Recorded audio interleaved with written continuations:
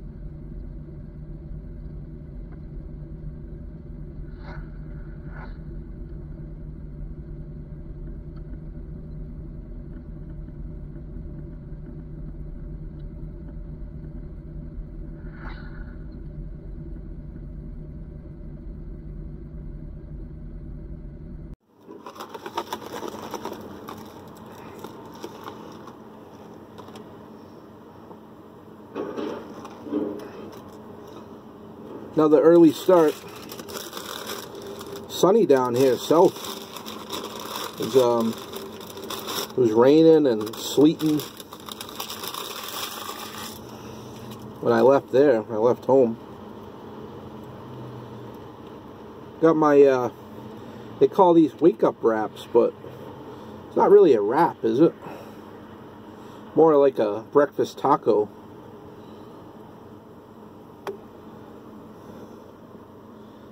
Melty cheese, sausage, egg.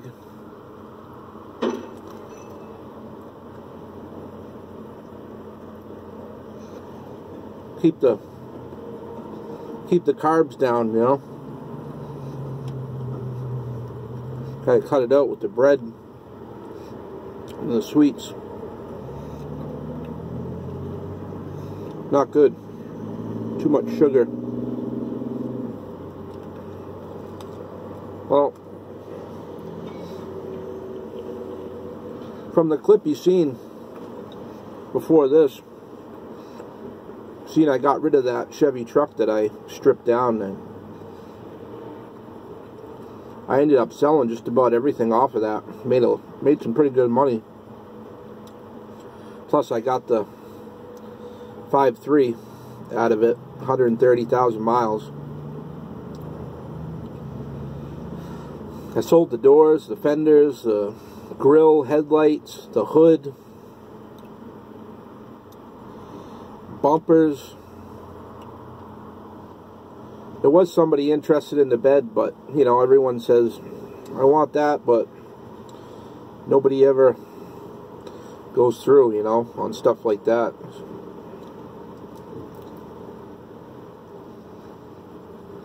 Snooze, you lose.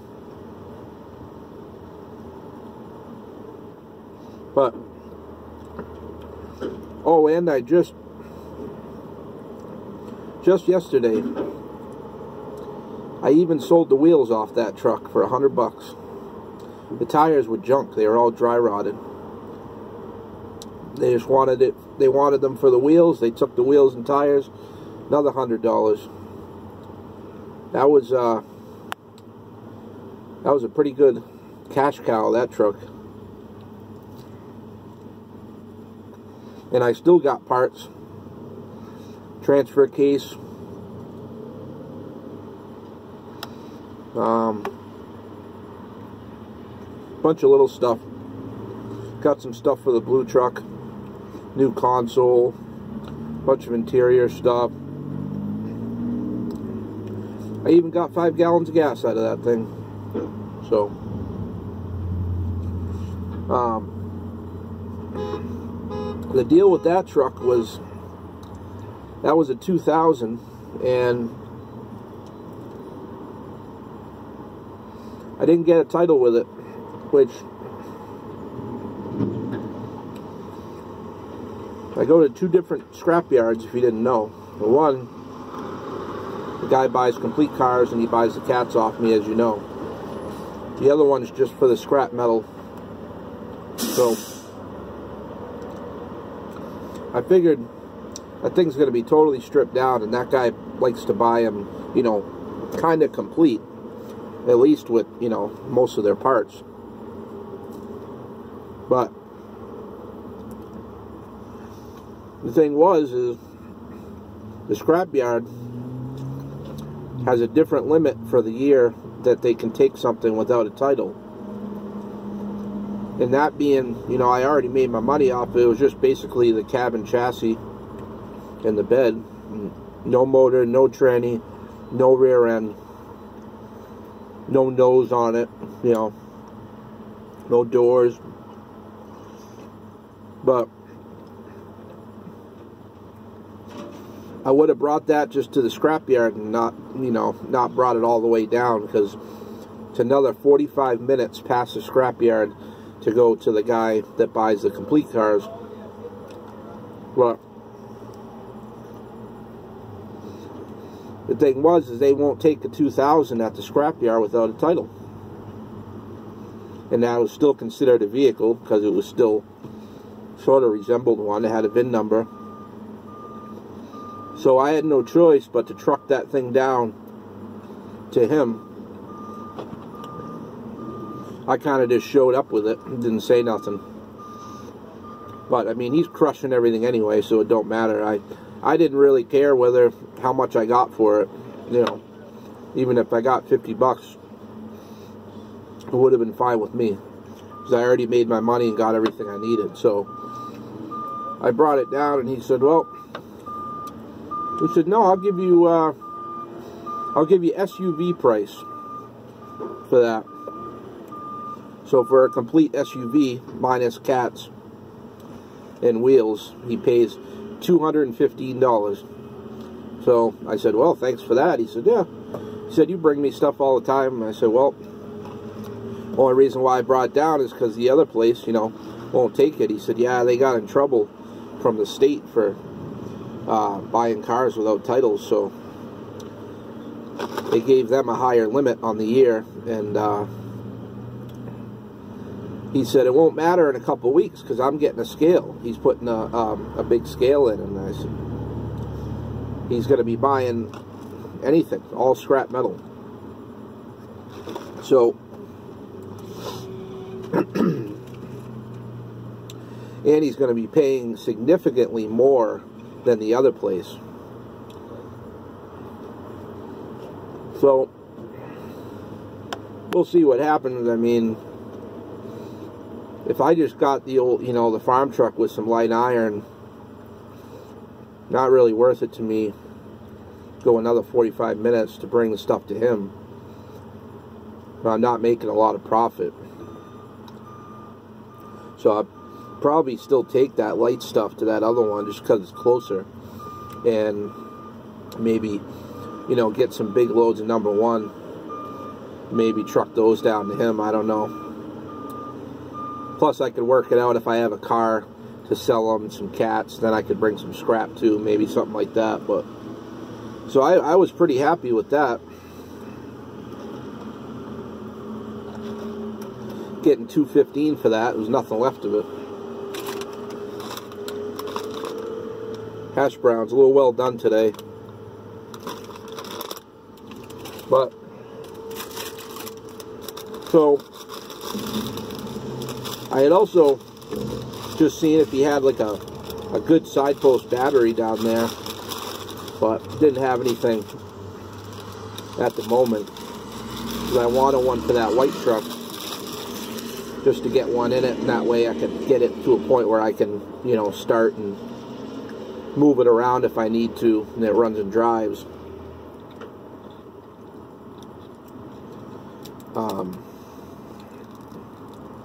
So he didn't have nothing, but so then uh, I left there and I was thinking, you know, about a mile from his yard, I always, the last few times I've passed by this um, white Chevy truck with a plow, kind of ratty looking, the little wooden, like, flatbed on it, like a homemade thing. Had a for sale sign, and uh, I thought it's probably too much, you know, being, uh, you know, having a plow and stuff. So I hadn't, I hadn't really stopped, but um, I decided, you know, it was a nice day, I had money in my pocket, and uh, for the hell of it, I'm going to pull up and I'm going to see, just for the hell of it, what this guy wants for this truck. So, pulled up, talked to the guy. He wanted too much money for it.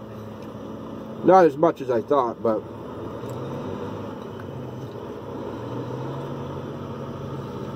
it ran, but you know, it smelled like coolant.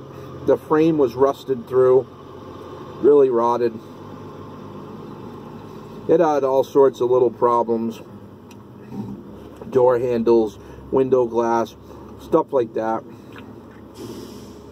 It was, uh, it was in pretty bad shape. Guy just dropped his hat out of the truck, dump truck. But, um, the plow worked on it it wasn't the greatest plow, but anyway, long story short, I made him an offer.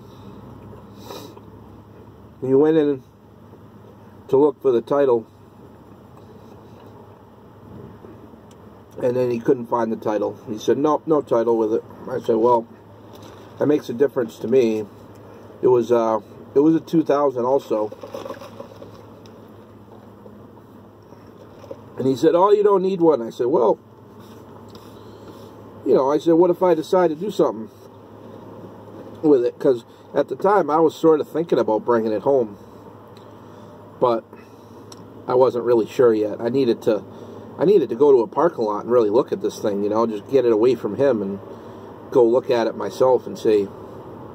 I mean, it had the thing about it is it had the factory cats on it, the two. So I knew the money there. I knew what I was getting into. It had pretty good tires on it, and it had a brand new battery. The side post that I was just looking for at the junkyard. So I said, this is kind of stupid. So he wouldn't budge on. I, I offered him even less without the title, and he wouldn't really budge. And so I ended up actually taking off. I went down the road, and you can see in the video um, that the clips I'll put up after this. Um, I actually turned around about about a mile down the road, and I said, "You know what?" I said, "I can just turn around, bring this thing back down the street to the junkyard, sell it to him, have him cut the cats, sell those."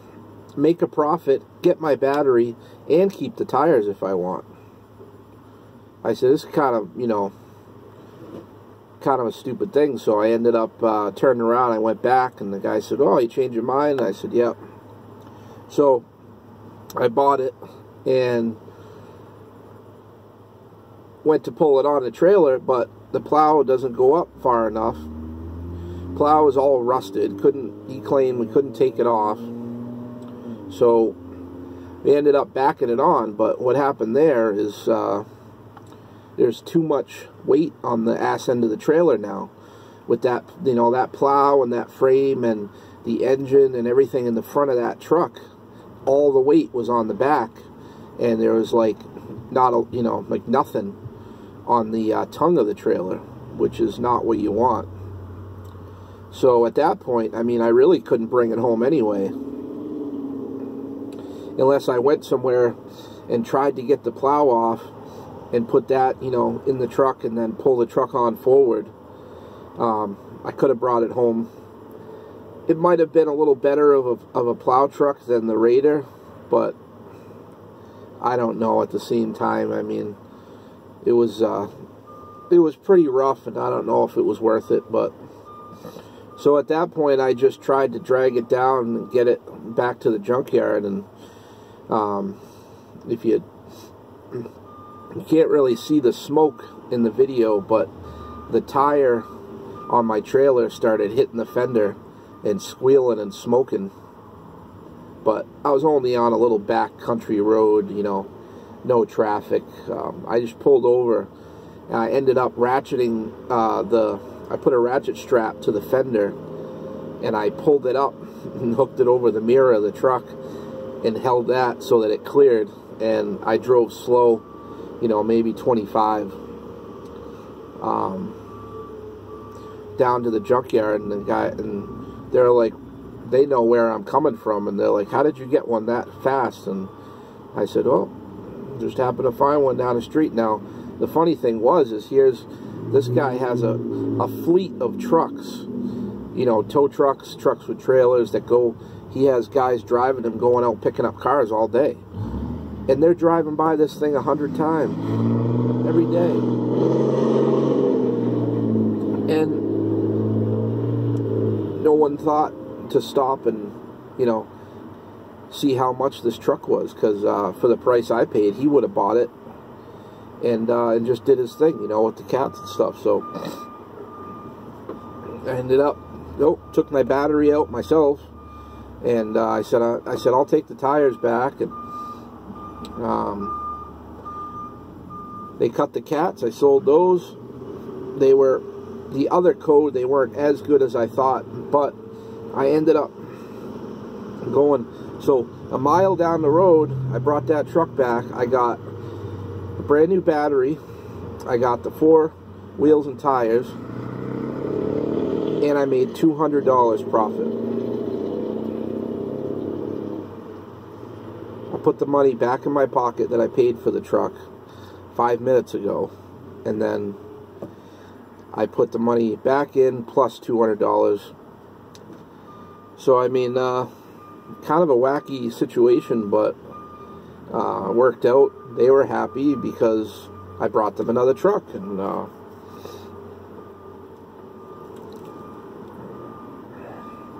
he said, "Keep on doing that." He said, "I don't care. You can pick them all, pick them up all you want around here. You find them, they're yours." So.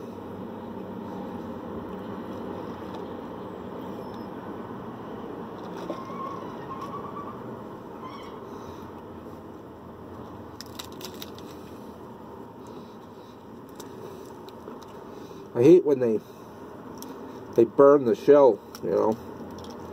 It's like rock hard. You can't even eat it.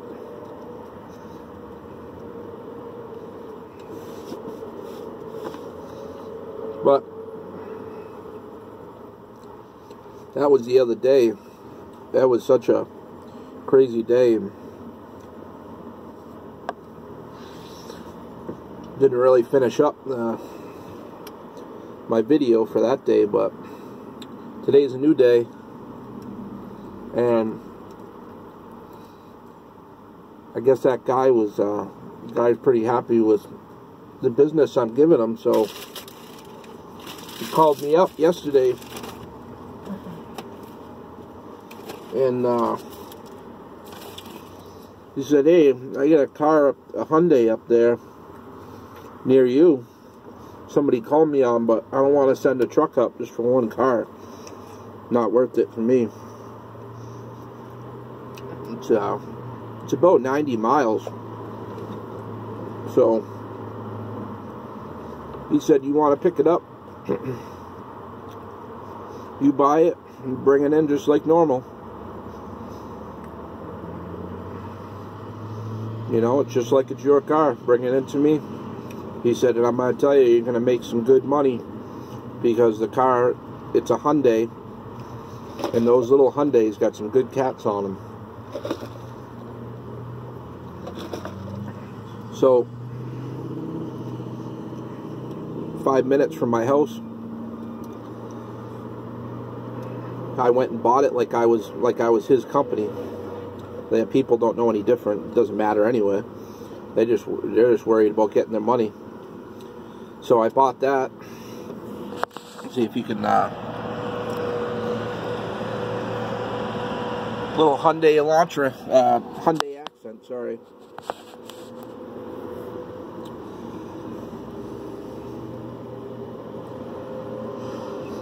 Those little crap boxes got good cats on them. I got one before last year. And, uh, nice. I also um, guy that I work with sometimes doing uh, cleanouts and demos and stuff. He was cleaning up a yard, raking, and he found a rotted exhaust system in a yard somebody wanted to get rid of, and the cat was still on it. Got this old rotted cat, and uh, so we got that in the back. I ended up. Uh, he ended up giving that to me, so bring that at the same time, cash it in, see what it pays.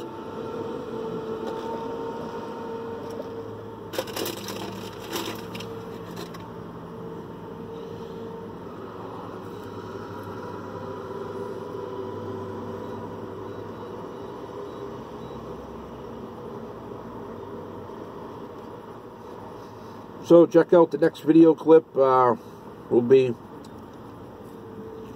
after I left the yard and got that white truck and uh, continued on my day.